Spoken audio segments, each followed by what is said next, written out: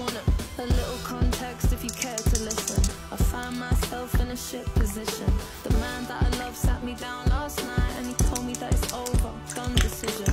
I don't wanna feel how my heart is ripping. In fact, I don't wanna feel, so I stick to sipping. And I'm out on the town with a simple mission. In my little black dress and the shit is sitting. Just a heart broke bitch, high heels, six inch in the back of the nightclub, sipping champagne. I don't trust any of these bitches I'm with.